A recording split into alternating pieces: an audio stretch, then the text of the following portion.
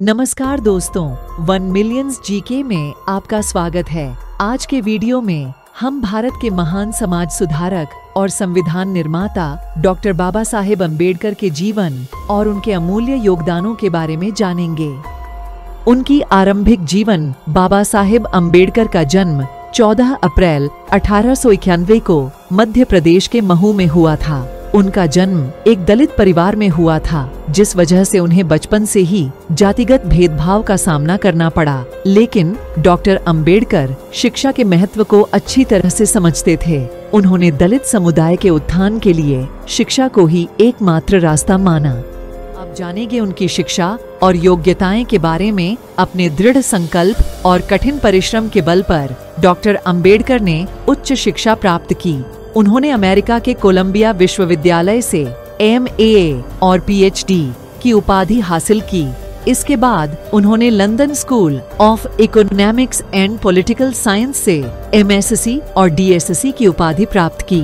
साथ ही उन्होंने लंदन से बार एट लॉ की उपाधि भी प्राप्त की। डॉक्टर अंबेडकर, एक विद्वान और बहुमुखी प्रतिभा के धनी व्यक्ति थे। कार्य और योगदान। डॉक्टर अंबेडकर ने अपना पूरा जीवन दलितों के उत्थान और जातिगत भेदभाव के खिलाफ लड़ाई में लगा दिया। उन्होंने मूक नायक और बहिष्कृत भारत जैसी पत्रिकाओं का संपादन किया, जिनके माध्यम से उन्होंने दलितों की आवाज़ को बुलंद किया। वह अस्पृश्यता निवारण अधिनियम 1950 के निर्माण में भी महत्वपूर्ण भूमिका निभाई। इसके अलावा, डॉक्टर अंबेडकर महिला सशक्तिकरण के भी प्रबल समर्थक थे। उन्होंने हिंदू कोड बिल उन्नीस का मसौदा तैयार किया, जिसका उद्देश्य हिंदू विवाह कानून में सुधार लाना था। हालाँकि, यह विधेयक पारित नहीं हो सका। बात करते हैं, भारतीय संविधान के निर्माता डॉक्टर अंबेडकर को भारतीय संविधान के मुख्य शिल्पकार के रूप में जाना जाता है। उन्होंने संविधान सभा की सन ड्राफ्टिंग कमेटी के अध्यक्ष के रूप में कार्य किया और संविधान के मसौदे का निर्माण किया। भारतीय संविधान समता और न्याय के मूल सिद्धांतों पर आधारित है, जिन्हें डॉक्टर अंबेडकर ने सदैव अपनाए।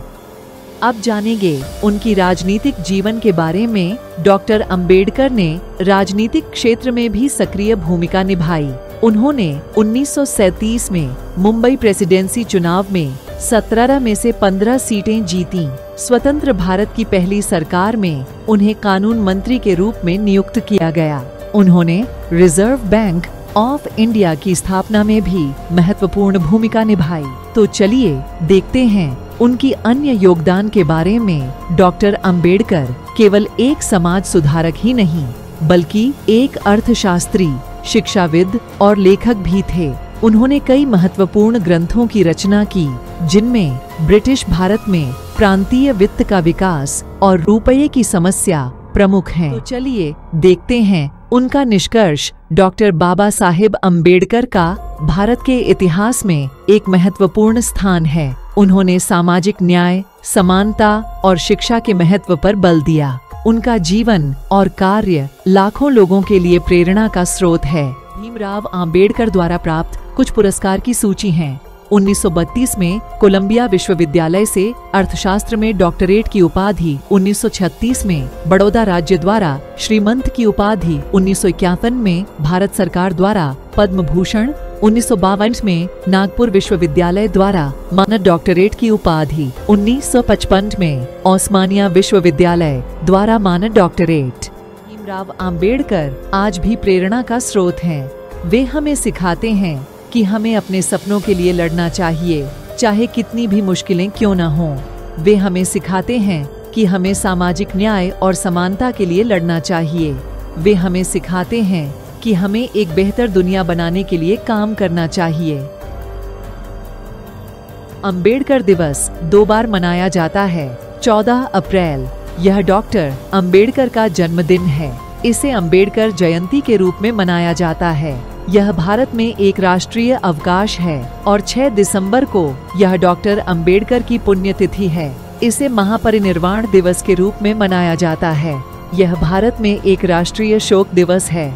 आज के वीडियो में हमने बाबा साहेब अंबेडकर के जीवन और उनके योगदानों के बारे में जाना। मुझे आशा है कि आपको यह वीडियो जानकारीपूर्ण लगा होगा। अगर आपको यह वीडियो पसंद आया है तो कृपया इसे लाइक करें और अपने दोस्तों के साथ शेयर करें। हमारे चैनल को सब्सक्राइब करना ना भूलें, ताकि आप हमारे आने वाले वीडियो को सबसे पहले देख सकें।